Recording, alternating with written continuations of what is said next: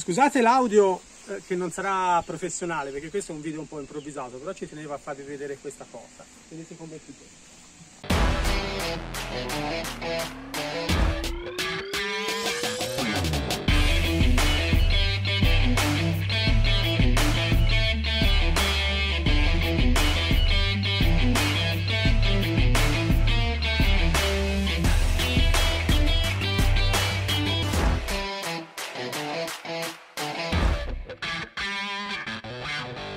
Far salire il cavallo sul carrello è sempre veramente eh, complicato e difficile. Io conosco veramente un sacco di gente che non sposta il cavallo, eh, cerca mille scuse per non spostare mai il cavallo, semplicemente perché ha il problema di farlo salire sul carrello. Eh.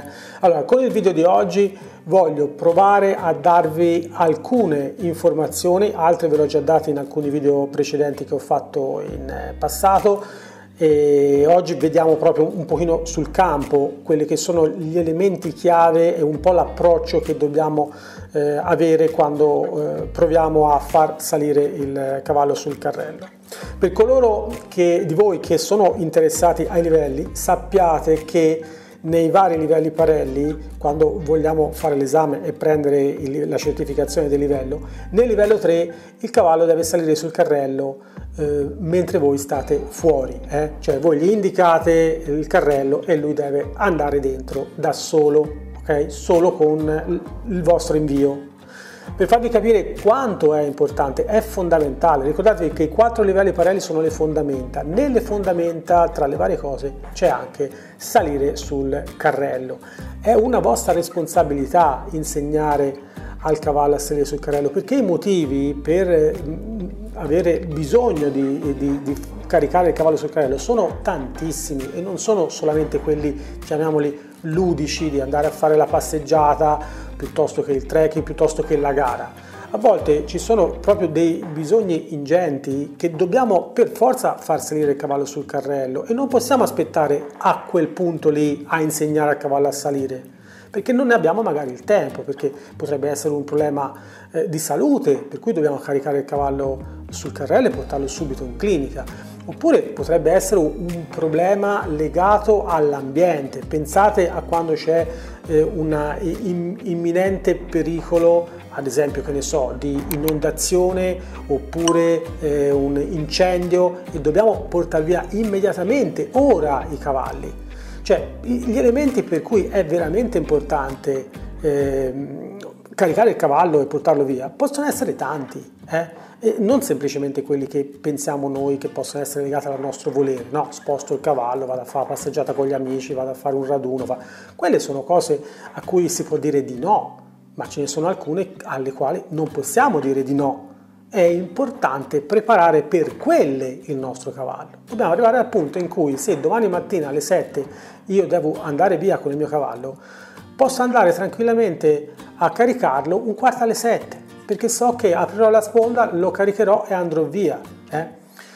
Non per ultimo anche il discorso dei corsi. Se voi volete venire a un corso dei miei, ad esempio, che faccio in giro per l'Italia, eh, è bene che veniate col vostro cavallo, eh? a parte un corso base che lo potete fare con qualsiasi cavallo, ma poi quando cominciamo a fare delle cose un pochino più evolute, è bello farlo con il proprio cavallo e portare il proprio cavallo diventa un problema se il cavallo non sale mai, non l'avete mai fatto salire su un carrello, l'ultima volta che l'avete fatto salire è passato tre anni. Eh? Farsi prestare il carrello da un amico è facile, far salire il cavallo su un carrello che non ha mai visto e che magari è tre anni che non ci sale sopra è un pochino più difficile. Ma andiamo un pochino eh, nel merito di, del contenuto di questo video, così vediamo se anche questa volta riesco a darvi qualche cosa che vi aiuti. In questo caso stiamo eh, vedendo Jack che gioca con un pochino di pedane perché come ho già spiegato in alcuni miei precedenti video, uno degli elementi più importanti quando andiamo a caricare il cavallo sul carrello è appunto avere prima preparato il cavallo con le pedane, eh, perché fanno un rumore simile a quello che poi dopo eh, sarà la pedana del carrello quando il cavallo andrà a metterci per la prima volta gli zoccoli sopra. Un altro elemento veramente molto importante è quello di non portare il cavallo la prima volta verso il carrello con la sponda giù. Eh? Dobbiamo andarci, come in questo caso, con la sponda su, tutto completamente chiuso. E dobbiamo iniziare a eh, far sì che il cavallo cominci a prendere confidenza con il carrello, eh? il carrello completamente chiuso. Quindi facciamo il gioco del tacite, cioè metti il naso sopra, lo facciamo annusare da tutte le parti, ci giriamo intorno da entrambi gli occhi e ci possiamo ad esempio eh, sviluppare anche alcuni giochi, no? come Tacite l'abbiamo già detto, come la retromarcia verso il carrello, ad esempio i passi eh, laterali. Dobbiamo veramente fare in modo che il cavallo diventi confidente mh, vicino nello stesso spazio dove è il carrello. Una volta che abbiamo il cavallo abbastanza sereno possiamo cominciare a aprire la sponda e eh, provare a impostare gli stessi esercizi che abbiamo fatto all'inizio quando gli abbiamo presentato le nostre prime pedane. Eh? E ovviamente è il gioco della strettoia, quindi facciamo passare il cavallo fra noi e la pedana, eh, da entrambi gli occhi sempre, poi quando il cavallo è abbastanza sereno possiamo chiedere anche di provare a metterci sopra un piede, ad esempio, sempre da entrambe le parti, quindi anche dall'altra chiediamo le stesse cose. Una volta che abbiamo tutti e due i piedi possiamo cominciare a chiedere anche qualche cosina di più e portarlo più centrale eh, renderlo confidente ad esempio con il telo che alcuni carrelli hanno e che scende giù o si muove sempre quando meno ce l'aspettiamo in modo che non ci crei brutte sorprese poi successivamente quando andremo a caricare il cavallo sul carrello. Una volta che abbiamo un po' di confidenza anche su questo elemento possiamo cominciare a chiedere di mettere anche tutti e quattro i piedi sulla pedana, possiamo cominciare a, a, a, mettere un po' il comando del scendi quando te lo dico io, in questo caso, no? non voglio che tu sali, voglio che scendi, scendi quando? Quando metto la mano sul moschettone e faccio una leggerissima pressione indietro. È importantissimo questo eh, perché essere, dentro il carrello non ci deve essere mai pressione. Eh?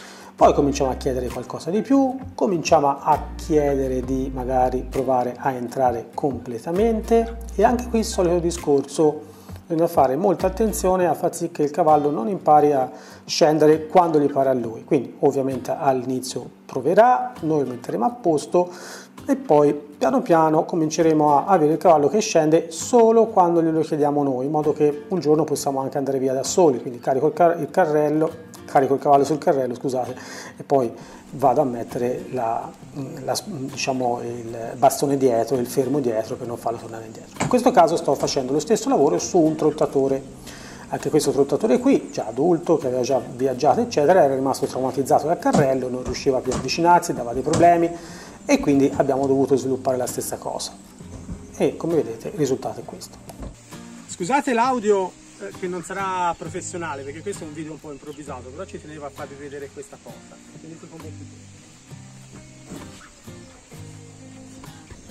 Allora, io adesso vado là dietro e tolgo la barra, ok? La cosa importante che dovete insegnare al vostro cavallo è quella di non eh, uscire subito. Eh? Ovviamente prima di togliere la barra dietro dovete sciogliere il cavallo davanti, eh? eh così come sono io, quindi è sciolto. Eh? Adesso vado dietro. Faccio il giro di fuori così. Non ci sono problemi di ripresa eh?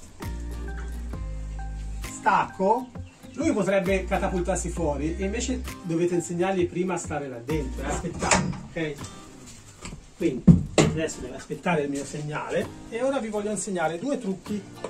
Due trucchi due cose che dovete ricordarvi sempre. La prima è che dovete mettere veramente zero pressione dentro il box, eh, dentro il carrello.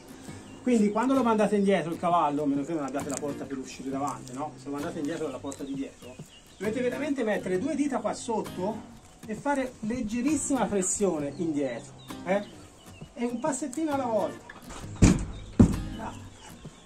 Passettino alla volta e quando il cavallo comincia a essere sulla rampa, se vedete che i posteriori vanno fuori dalla rampa, dovete mettergli la testa verso la parete, così come faccio io, in modo che lui vada più centrale e possa vedere con l'occhio destro, in questo caso, dove sta mettendo i piedi.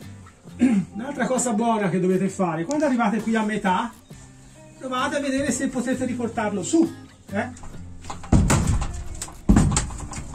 Questo è un cavallo che una settimana fa, quando vedeva il carrello, tirava come un forsennato e scappava. Eh? Ok? Quindi, no, prova avanti. Eh, ti ha fatto un passo indietro senza che glielo chiedessi io. E adesso invece si rivà. Bravo Giulio.